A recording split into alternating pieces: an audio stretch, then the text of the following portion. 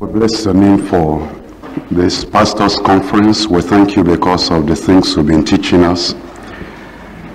Father, we pray that these words spoken to us from your word will become part of our lives in Jesus' name. We pray that you will lead us this morning into your word again and bless us mightily.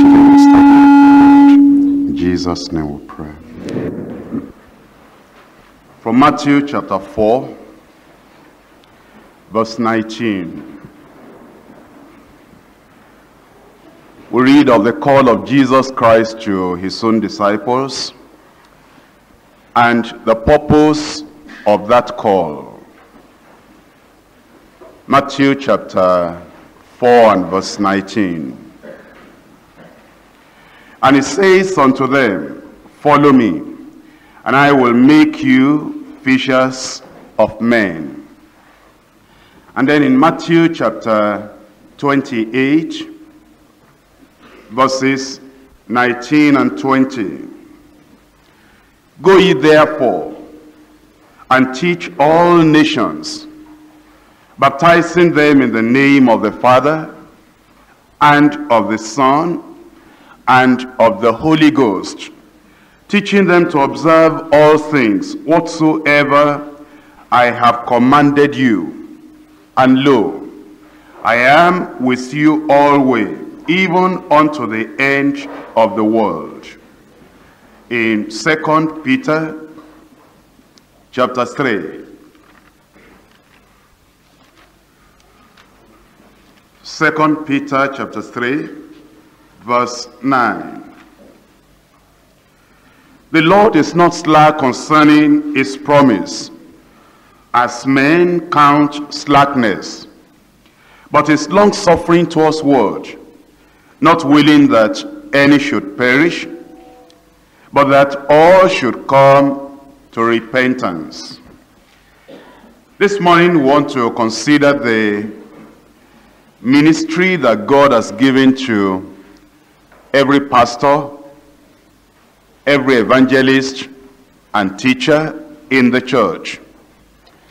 In God's own divine economy, he has so planned that men and women who are lost in sin, degradation, and darkness will hear the gospel from mortal men like themselves, with the difference that these mortal men have been saved, turned unto the Lord, brought into the kingdom of God, but that the rest of humanity, lost in sin, will hear the gospel of deliverance and salvation from men like themselves and unlike themselves. So those of us who have been saved, in one way, whether like the rest of humanity, because we're human, because we're men and women like they are, but unlike them, because we have been saved. And we have assurance within us that Jesus is our Savior. And this divine economy that has made the Lord to choose us as instrument in his hand has also planned that the people will reach will be reached through the preaching of the gospel. But then in the preaching of the gospel, there is the demonstration, one, of the power of God, two, of the wisdom of God. So then it means in reaching out to the lost, we're concerned with getting the message across, but then we're concerned with the miracles, we're concerned with the methods. The message, we preach that. The miracles, that demonstrates the power of God. The methods, the wisdom of God. But then we need to realize how the work is actually done. How the lost is won. How sinners are saved. Because if we do not understand what's major, what's central, the message or the miracle, the miracle or the method will get mixed up and the work we ought to do will not be done. That's why we've titled the message, The Hook and the Bait. Jesus Christ himself told the disciples, follow me and I will make you fishers of men. In Matthew chapter 17, the first part of verse 27,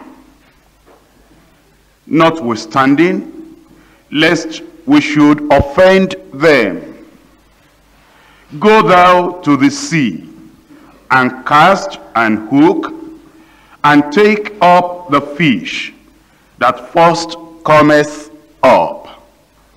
When Jesus saw the disciples by the seaside, and they were catching fish, he then related their life career of winning souls with fishing. One of the methods those fishermen used before Jesus met them was to cast hooks into the sea or into the river to catch the fish. And since Jesus said he'll make them fishers of men, obviously they must be casting hooks into the sea of humanity so as to catch fish with human hearts, with human eyes, with human mind, with human destiny. And from what Jesus Christ himself had said, saying, I will make you fishers of men, we then need to think about fishing and see how that relates with the work we do as preachers of the gospel. Sure enough, it's not only hooks that are used, nets were also used.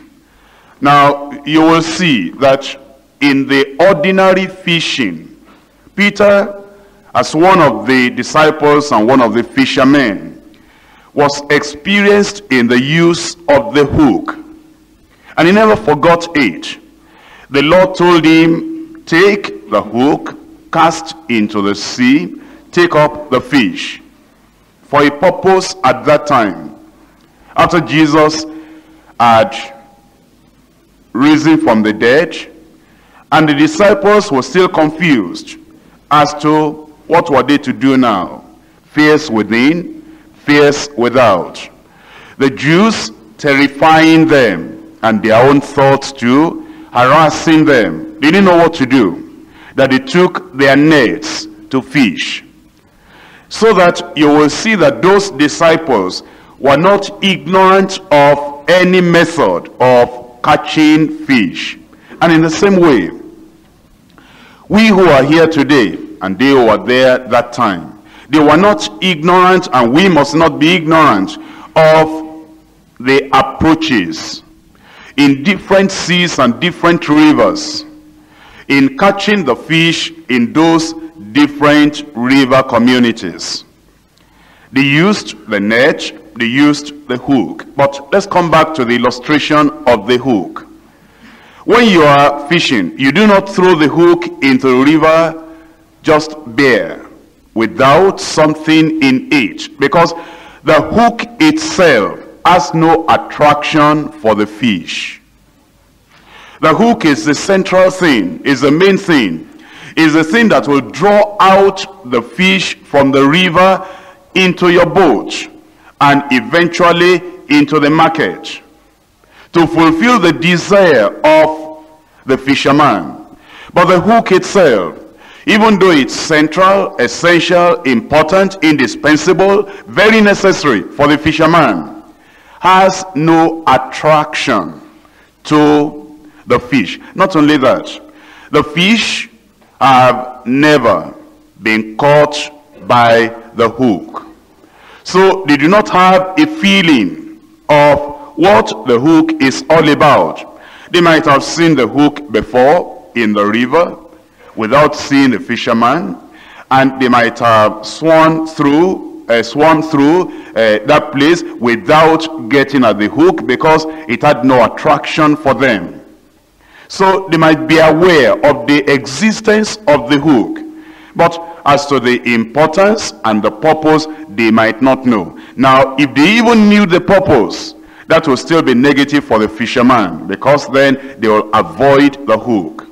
So, a reasonable fisherman and even an unreasonable fisherman knows that you do not cast the hook into the river without anything in it. That's what brings in the bait. That the fisherman will put the bait inside in the hook. And as he puts the bait in the hook, the fish will be reaching for the bait, not reaching for the hook. Reaching for the bait, but in an attempt to get the bait, he gets the hook. Is that right? But then, how do you uh, attach the hook and the bait? One, if you had a hook and you had a bait for the purpose of illustration, and you threw the hook separately into the river, the bait separately into the river, you'll never catch anything. The fish will eat up the bait and avoid the hook because they are separated. And in the preaching of the gospel, you'll soon find out the hook is the message. It has convicting power. It pricks the heart. It condemns sin in the heart. It is not convenient for the sinner. And yet it is the central major thing that gets the sinner out of the sea of humanity and brings him separated from every person, everybody else to bring him into the net, the net of the kingdom, the kingdom of God. But then, just like the hook has no attraction ordinarily to the fish, the message of repentance, that people may come to the Lord and be converted, the message has no attraction for the sinner. It condemns him. It convicts him. In fact, it repels him ordinarily without the drawing power of the Holy Spirit. He will not appreciate being hooked with that message. But then, what's the bait? Let's come back to fishing before we go into the application as to the bait.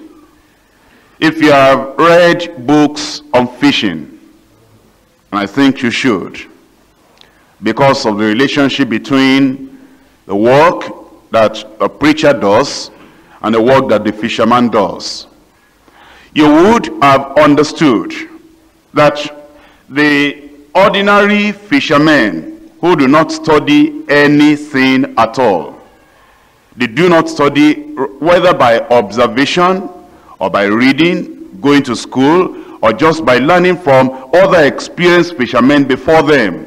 They just go to the riverside. They know that you use the hook, you use the bait.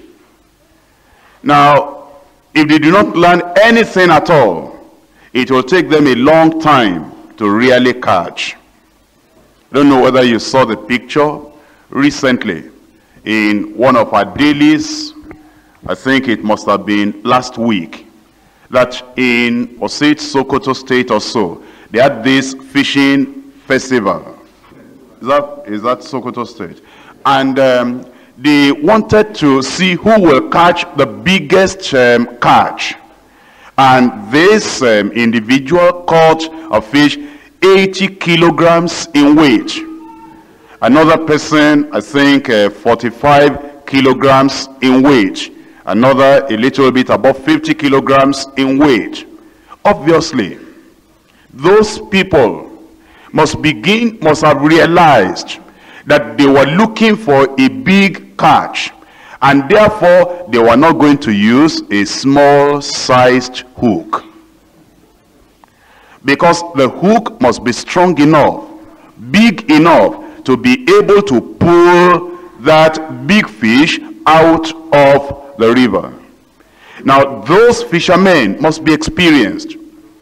Then, obviously, they must have known and studied that in that vicinity, in that river, the type of bait that a small fish of one kilogram will eat is not the type of bait that an 80 kilogram fish will desire or want to eat. They must have studied the peculiarities of the fish in those rivers to now go with the appropriate hook of good size, of good weight, then to go with the appropriate bait without study, they would not have been able to do what they did.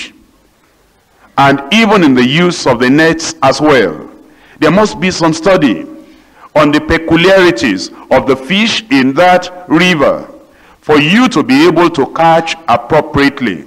Now, when you apply that to fishing, that might begin to show you that in the preaching of the gospel, if we're preaching with God's own purpose in mind, that sinners will be saved, that people will be reached, we must choose the hook and choose the bait.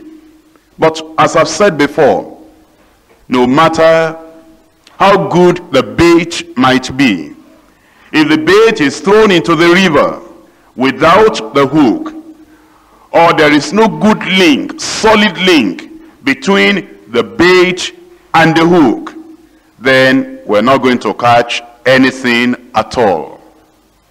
I've said the hook represents the word of God. The preaching of the gospel. The bait represents the other things that we do along with the preaching of the word of God that acts as a bait to the fish, to the people of the world in bringing them to the Lord Jesus Christ. What are those things? The ordinary Pentecostal will say the working of miracles alone. But it is not in every case that the working of miracles attracts every person into the Christian faith. Now, you will know, I said it yesterday when I was preaching on men mountains, and miracles. That last week in Imo State, this Indian uh, that came and I prayed for her. When the miracle took place, excuse me, she came back and she asked me, is it magic? Now that will reveal something to you. If in a community there have been magicians there that will play some tricks. And then you come in, ignorant of the situation in that community. And all you do is just to say, well, I'll show these people. Blind eyes will see, lame legs will be strengthened and they'll start to walk. The deaf will hear. All those who have been familiar with magic, might just take what you're doing as magic. And then it does not actually act as a bait in that community until there is proper education as to what is it you're doing. Now, healing the sick will be a bait for those who are sick, but not for those who are well. Answers to prayers for children or teenagers that are incorrigible will be a bait to parents that have children that are incorrigible but not to children not to parents that do not have such children. Now if people recognize that they are being tormented of evil spirits and they have the spirit of insanity and um, the family that has been laboring for that individual because they love him. Now that family will count it, it will be a bait for them if the precious person in that family that is having the mental problem is cured by the miraculous power of God. That might be a bait for them. But take the other case that there is an individual that before he became mentally insane, he had been notorious. He had been very, very bad and the family had rejected him. And after the rejection, he started going about the streets. A menace and a mentally insane individual. Violent. And the family had rejected him before that time, so they didn't even look for him to get him to the hospital. Eventually, you are preaching somewhere, and then he gets healed. He goes back to the house, they still reject him. They say, the problem is not just that you are mental, you have been notorious. We do not want to have anything to, you, to do with you as a family. In that case, the cure of that man is not necessarily a bait for the family that had rejected him. So then, that means, as we get to the rivers, the different communities we study, and we see what is the bait that will be attached to the hook that will catch all these people. Now, let's even settle that in the majority of the communities, the bait is miracle. The opening of the eyes of the blind, the lame walking, and a lot of things that might happen in the miraculous sense. I've told you that if you cast out the bait without the hook, the fish will eat up the whole bait without ever getting converted. Without ever coming to know the Lord. And there are people that are interested in just praying for the sick. Interested in just delivering the oppressed interested in just having this done and that done. And yet the church is not increasing. And they are wondering why. That we are experiencing as much miracles as you experience in another state where the church is growing. And yet in the church here, though there are many, many miracles and testimonies have been given, the people have really not been giving their lives to the Lord because the bait had been given out separately and at a separate time the hook is also thrown out into the river a lot of bait a good hook but thrown out at different times and because there is no proper link the people are not converted they are not drawn to the lord we must remember that our purpose is not just praying for the sick, healing the sick, delivering the oppressed. Our purpose is to get souls saved. In Luke chapter 19, verse 10, For the Son of Man is come to seek and to save that which was lost. The Son of Man was come to seek and to save that which was lost. It's true that Jesus performed miracles, but then there was a purpose behind those miracles. The sick were healed. Many things did happen. But then the purpose behind it all is the salvation of the multitudes of sinners living at that time. And Jesus has sent us out with the message. One, so that people will be saved And two, after they are saved, they'll be integrated with the body of Christ. Let's examine our own situations in the church. If you have been keeping records of the people we call newcomers, and you will look through at the end of the year, and see from January through to February to March until December, how many new people had passed through our church. For the purpose of illustration, let's just use a statistics like this. That if your church at present has an attendance of 500,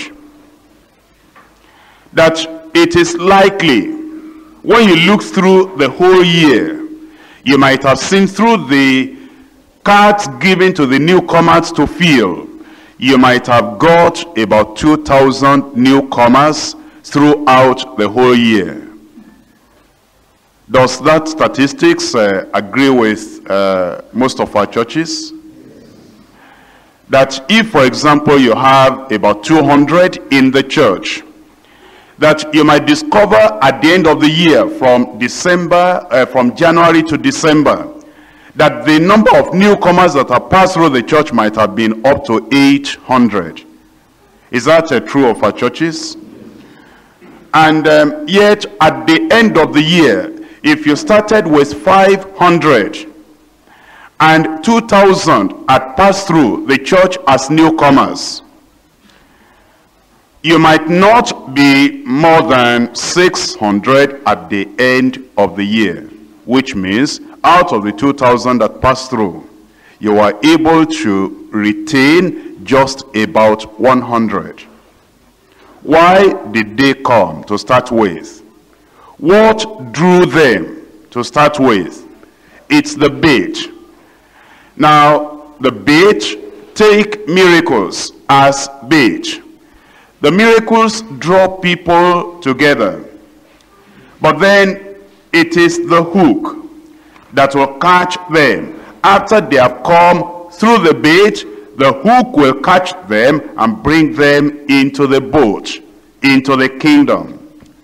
In Bible days, miracles drew people. The miracles did not convert them. The miracles did not keep them with the church. The miracles did not make them to say, now Jesus Christ is going to be our Savior. And we're going to stay in the church, in the kingdom of God, till the rest of our lives. For the rest of our lives, till the end of our lives. It was just to draw them that the miracles had power to do originally. Then the message got them saved. In Acts of the Apostles, chapter 3. Acts, chapter 3. Verse 11. And as the lame which was healed held Peter and John, all the people ran together unto them in the porch that is called Solomon's, greatly wondering. And when Peter saw it, he answered unto the people, Ye men of Israel, why marvel ye at this? Or why look ye so earnestly on us, as though by our own power of our holiness we made this man to walk? The God of Abraham and of Isaac and of Jacob, the God of our fathers has glorified his son Jesus, whom you delivered up and denied him in the presence of Pilate when he was determined to let him go. Now you'll see the link between the bait and the hook. You'll see the link between the miracle and the message. a great manifestation of God's power are taking place. This man that had been lame from birth, now 40 years of age, had been raised up by the mighty power of God. That drew the people together. That's why it's bait. But then all they did was to wonder, not to believe. And as they wondered, Peter said, Ye men of Israel, why marvel ye at this? And then he continued. What could he have said? There are two alternatives. Could have exalted Jesus Christ like he did. Two. The other alternative, he could have exalted himself. Now when I say exalt, he could have exalted himself with a good purpose in mind, so to say. What's the good purpose that he could have in mind? If he did not know the divine purpose, the ultimate goal, and the necessity of using the hook and the bait to get them into the kingdom of God, he could have exalted himself in this way, that God had raised him up with the other apostles so that they will give to the people the needs of the people and meet the needs of the people more than the Pharisees could meet the needs of the people. And so with that purpose in mind, which will appear genuine, which will appear acceptable, that he wanted to divert their minds away from the synagogue to this church, to this place now where God had raised them up as apostles. He could have said, now this is to show you, you've been going to the synagogue, to the temple for a long time. And nothing like this happened. But God has raised us apostles up. Now, if he did that, the people will believe. That is, they will believe that God had raised them up. Like he raised up Moses or Elijah. But they would have believed he has raised up another prophet like the prophets of Israel. The main issue, the main message of Jesus Christ being the Son of God, being the Messiah, being Christ, will be toned down. Because you cannot exalt Christ and Peter at the same time. You may do that later, but when you are doing it for Peter, what the people will understand at that material moment is for Peter. Maybe another time, if you get the opportunity to do it for Christ, you'll do it for Christ. But then the consequence is this, that the miracles are not just exalting Christ, making them to believe on the Lord Jesus Christ. The preachers are doing a lot so that the attention of the people will be on Christ and the preacher, the preacher and Christ. And that will not act as the real bait in the hook to get them very quickly into the kingdom of God. But Peter chose the better way. And he held on to the better way until the end of his life and ministry. Like what God, what Jesus said about Mary. She has chosen that good thing that shall not be taken away from her. He chose the better way. And immediately they all came together because the miracle had acted as a bait, pulling them together. He began to say, Ye men of Israel, why marvel ye at this? Why look ye so intently on us? As they were looking intently on them, he didn't start a praise worship. You know, in some of our congregations, if a miracle like this took place, we'll start a praise worship. And there'll be no time to preach the real gospel. Salvation message will be missing, will be carried away, will forget it's only a bait, and the hook is still missing. And the people are not being caught into the kingdom of God. But Peter immediately seized on the opportunity. You're looking on us as if by our power or holiness we've made this man to walk. The God of Abraham, the God of Isaac, and of Jacob. As glorified, he didn't say, as healed this man, as glorified his son Jesus. He was in a hurry to get to his destination. In a hurry to get to the hook. And to show them that what they were talking about was salvation in Christ Jesus. Who they were talking about was the very Son of God. That thing that they rejected. That Jesus will call himself the Son of God. He emphasized it at this opportunity. Whom ye delivered up and denied him before in the presence of Pilate when he was determined to let him go. But she denied the Holy One and the just, and desired a murderer to be granted unto you, and killed the Prince of Life, whom God has raised from the dead, whereof we are witnesses. Something is very significant here, or perhaps some things. It was an extemporaneous message. What that means is that a message that was not planned before. They were going to the temple. If you read the whole story before, from verse 1, at the hour of prayer.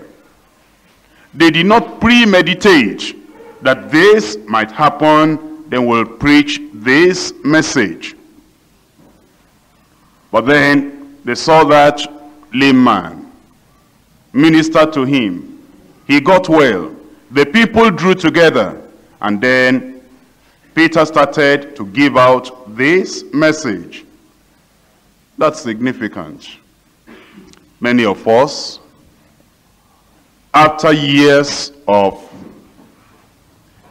professing that we have the Holy Ghost, we cannot give a message like this that will be coherent, compact, not drawn out, and will be conclusive and nail the thing on the head.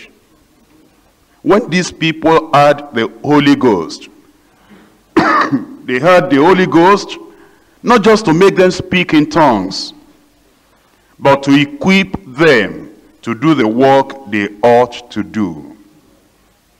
But in our circles today, our profession of having the Holy Ghost does not teach us how to preach, how to get the message across. Direct, sensible, presented in a wise way, and catching, catching the people. If we were cornered up, we would ramble. That is, if we have to preach by force, that the situation demanded we must preach.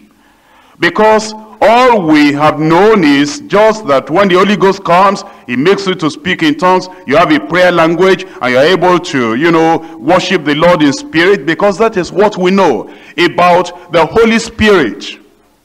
We do not understand and we do not know this major area, major, foundational of the Spirit of God helping us to be able to talk to the people straight the real depth of the word of God.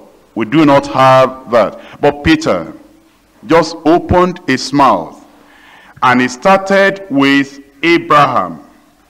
And in that same verse, he had landed on Jesus Christ.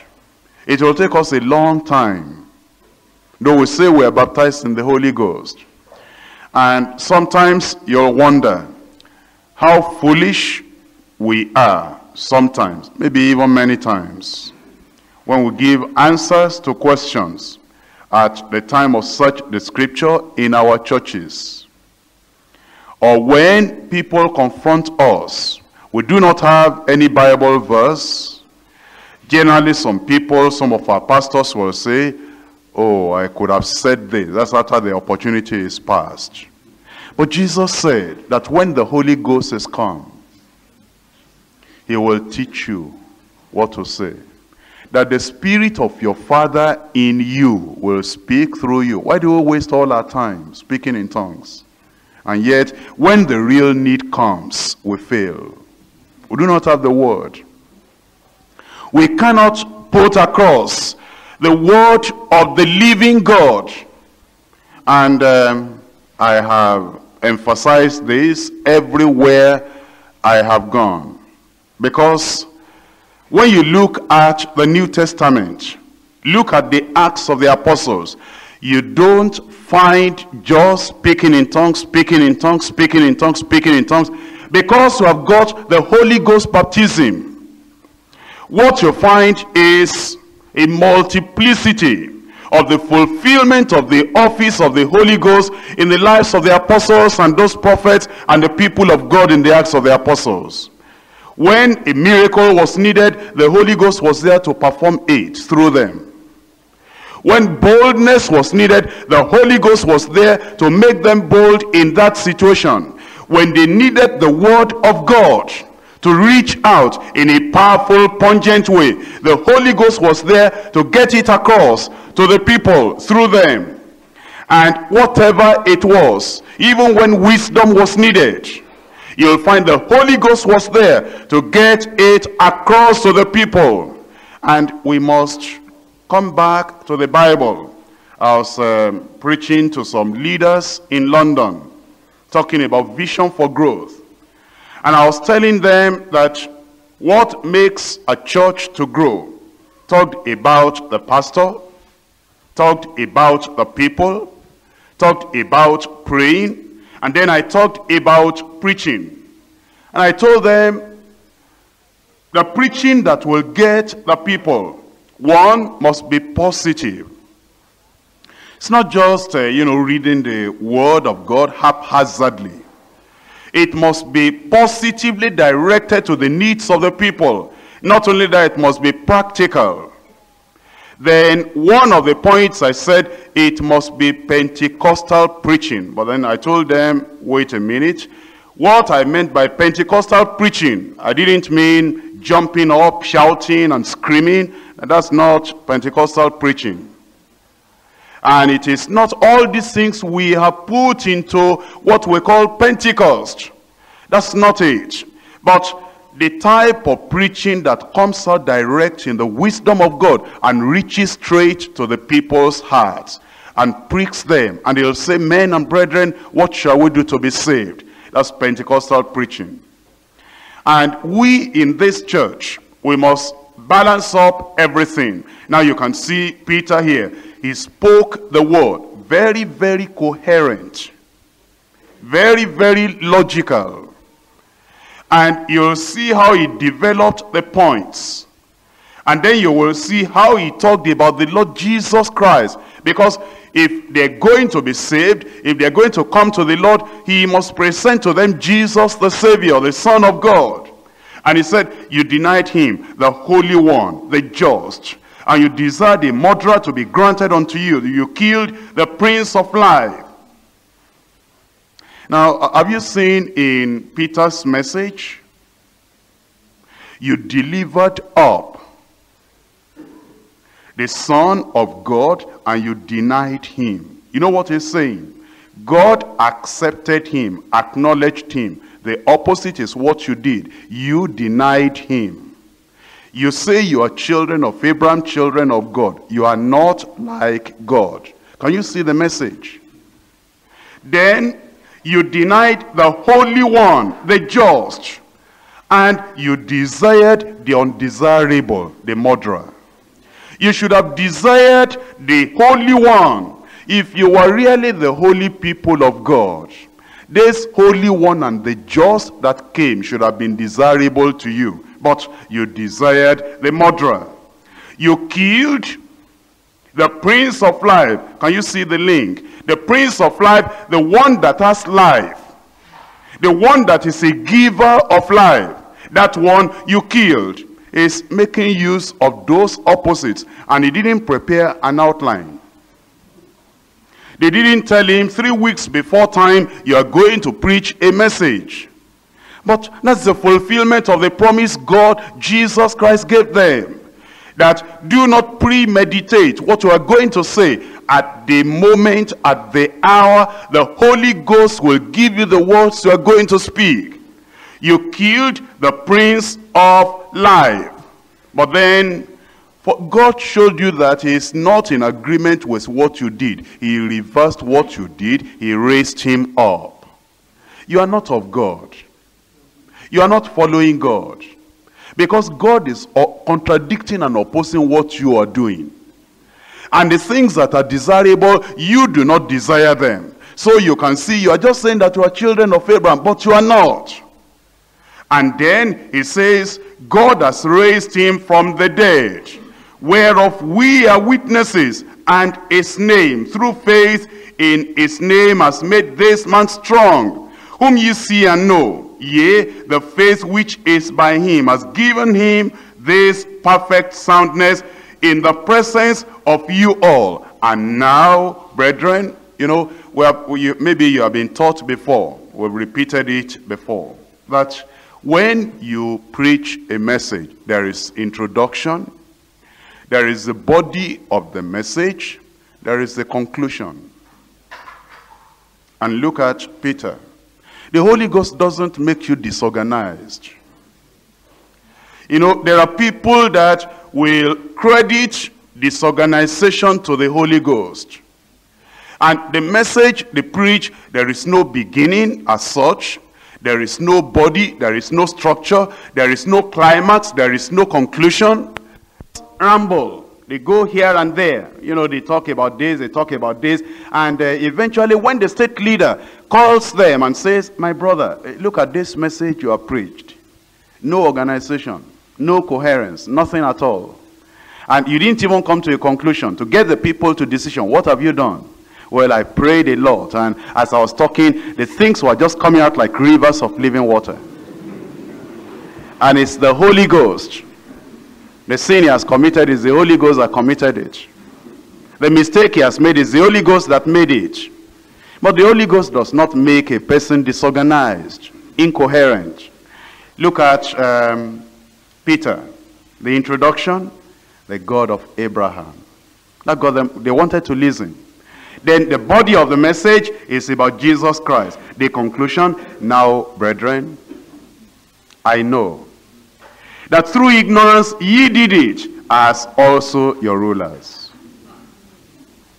I know you were ignorant about it. You didn't know. But those things, which God before assured by the mouth of all his prophets that Christ should suffer, he has so fulfilled. Repent ye therefore. Can you see how many verses there were? Not three hours. And yet he got to the point, repent ye therefore. Come back to what we were saying before. The miracle, the bait. The message of repentance, the hook. The message had, the miracle had been given. The miracle had been performed. Now that acted as bait and drew the people. Now the message of repentance. And believing on Jesus Christ so that they can be saved. Verse 26. Unto you first, God, having raised up his son Jesus, has sent him to bless you in turning away every one of you from his iniquities. Very, very clear. Very, very clear.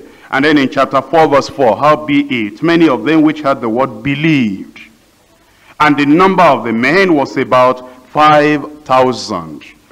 Now you have seen the miracle drawing the people as a bait. and then the message following after as the hook. But it's not always in that order.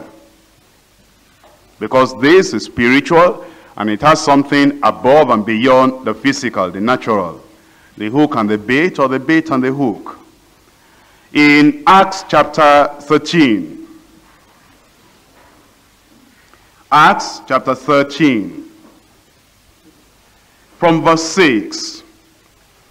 And when they had gone through the isle unto Paphos, they found a certain sorcerer, a false prophet, a Jew, whose name was Bar Jesus, which was with the deputy of the country, Sergius Paulus, a, a prudent man, who called for Barnabas and Saul, and desire to hear the word of God. Now, here was a man that on his own, he desired to hear the word of God. This is different from those who are not interested at all in the preaching of the gospel. This one knew that these were men sent of God to preach the gospel, and he desired the preaching of that word. In verse 8, but Elymas, the sorcerer, for so is his name by interpretation, withstood them, seeking to turn away the deputy from the faith. As the preachers, the apostles were preaching the gospel to the deputy, this, um, uh, this sorcerer, who had been very, very close to the deputy, he will not want the deputy to believe. And because of that, he sought to turn him away from the faith. What was Paul to do? In a situation like this, was he just to keep on preaching the word, just using the hook without any bait at all? From verse 9. Then Saul, who also is called Paul, filled with the Holy Ghost. I must repeat this again. What did he do after he became filled with the Holy Ghost? I think it will do you good to check up in the New Testament from Acts chapter 2 onwards to the epistles. What happens when a man is filled with the Holy Ghost? Uh, you know, because of the lack of understanding, the shallowness of understanding of many, many people. They feel that anytime you believe that you are full of the Holy Ghost, wherever it is, in the public while you are preaching like this, in the prayer warriors team when you are praying, or at the retreat, whatever you're doing, or at the miracle revival hour, even when you're still preaching, that suddenly you just feel that you are full of the Holy Ghost. Some people think that the thing to do immediately is leave the preaching, leave everyone else in they're doing and start speaking in tongues. But it's not so. And it reveals that we are not studying the Bible. Because you, you go through the Acts of the Apostles and you'll see they were full of the Holy Ghost, they were filled with the Holy Ghost, and then see what action followed. And the action that followed was not always just rattling on in tongues. And some of the tongues that the people speak, actually, to tell you the truth, I'll be ashamed to identify with those people publicly that were in the same church. Because I see it a lot of times. And he'll just repeat maybe the same word, the same word, the same word all the time. They'll jerk a little, even people in, you know, people in our church in Nigeria, they'll jerk a little, put their head in a particular way. And once they have a particular feeling, maybe they're extra happy or something, and they feel that now they're full of the Holy Ghost and then they make that physical uh, jacket, then they begin to say, they say, banana, banana, banana, banana, banana, banana. It's unreasonable. It has no meaning. Just the same word repeated over and over and over and over and over. Unreasonable. And I'll be ashamed to identify with them publicly to say that we are going to the same church. I'll be ashamed of it. But when you speak in tongues, it's real speaking, real language, not just the same word, not just the same word over and over. And I've seen some of them, while they're praying, they'll be praying in English, then they'll stop and say something. And then after that, they'll pray, you know, for five minutes. They'll then stop and say the same thing again. The same what they call speaking in tongues. Was that what they did in the New Testament? Why are we copying other people? If we don't have something, why don't you go and pray for the real thing? And so here, he was full of the Holy Ghost. What then did he do when he was full of the Holy Ghost? He set his eyes on him. Think about a person full of the Holy Ghost and then he stops the preaching, stops talking to the deputy and starts looking at the man without saying a word, without speaking in tongues. Just looking at him for some time. No, no more preaching. The Holy Ghost that came on him made him silent, not made him speak. The Holy Ghost is not a robot.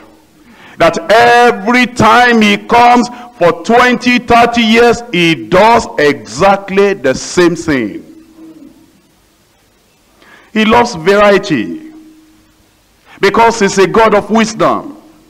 Because he knows the thing that will fit this situation, fit this situation, fit this situation. And he just set his eyes on him. And then he opened his mouth. And you can tell by now he was full of the Holy Ghost and he was full of the gifts of the Holy Ghost. And whatever he said now, God confirmed it. And, but that's different from what some people do. And he said, O full of all subtlety and all mischief, thou child of the devil, thou enemy of all righteousness, will thou not cease to pervert the right ways of the Lord? And now behold, the hand of the Lord is upon thee, and thou shalt be blind, not seeing the sun for a season, and immediately there fell on him a mist and a darkness, and he went about seeking some to lead him by the hand. That's a miracle. I told them in Makurdi, I must tell you, many people misunderstand miracles. And I was preaching uh, at the crusade. And um, at Makurdi it was another thing. But I told them that I believe in miracles. And I believe that many miracles will be happening there. Many miracles will be happening after we are finished there. That all those people that were there, you're a thief, you've been stealing before, now you are hearing this word of God. You don't repent, but they've never caught you. After this meeting, you go out to steal, a miracle will happen, they will catch you. And that you'll get to the prison. That that's a miracle. And I told them that all you Deeper Life girls singing in that choir there, all you who have been going to Deeper Life Bible Church in this town, you've been living in secret sin, going to commit adultery, fornication, and all these things, and you are not caught before, the next time you do it, you'll get a miracle, you'll become pregnant. It's a miracle.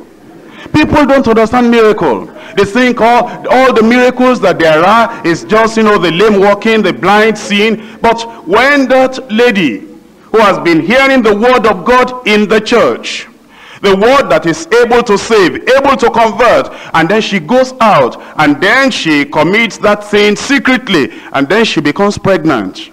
And people know she's not married, and she cannot commit abortion. That is a miracle of judgment. And here was a miracle of judgment. It's not just uh, God give me butter, give me bread, sugar my tea, that they call miracle. That when that person, a holiness preacher, he goes out and, you know, commits sin and he catches incurable gonorrhea, it's a miracle. It's a miracle. Is God working so that God will purify his church? When Ananias and Sapphira, when they died, what was it? It was a miracle. And yet, when Dorcas was raised up, it was also a miracle. The raising up of the dead for Dorcas was a miracle. The death of Ananias and Sapphira also a miracle. Both glorified God. Because after the miracle of Ananias and Sapphira, none of the rest of the deceivers outside attempted to join the church. Only the people that were serious, wanting to follow the Lord, actually came now to say, we want to believe on the Lord Jesus Christ. Now verse 12. When the deputy, then the deputy, when he saw what was done, he believed and being astonished at the doctrine of the Lord. That miracle confirmed the word of God. The bait and the hook. And how many times we have been guilty of just throwing out the bait throwing out the bait without the hook. And the fish have eaten all the bait that you have, and yet they have not come into the net. The church has not grown. And yet we prayed for the sick in our retreats, in our crusades. Many, many things might have happened. And yet, why have they not been converted? Why are they not saved? Because we have not applied the word of God at the same time. It's not only the hook, it's not only the bait, it's not either or, it's both and. That is both the hook and the bait. Let's end up with Mark chapter 16. From verse 15. And he said unto them, Go ye into all the world and preach the gospel to every creature. He that believeth and is baptized shall be saved, but he that believeth not shall be damned. And these signs shall follow them that believe. In my name shall they cast out devils. They shall speak with new tongues. They shall take up serpents, and if they drink any deadly thing, it shall not hurt them. They shall lay hands on the sick, and they shall recover. So then, after the Lord had spoken unto them, he was received up into heaven, and sat on the right hand of God. And they went forth and preached everywhere, the Lord working with them, confirming the word with signs following. They preached the word. The miracles were to confirm the words they preached. Let's rise up and pray. Father, we thank you because you've given the hook, you've given the bait also. But you want us to use both wisely. As we have had your word,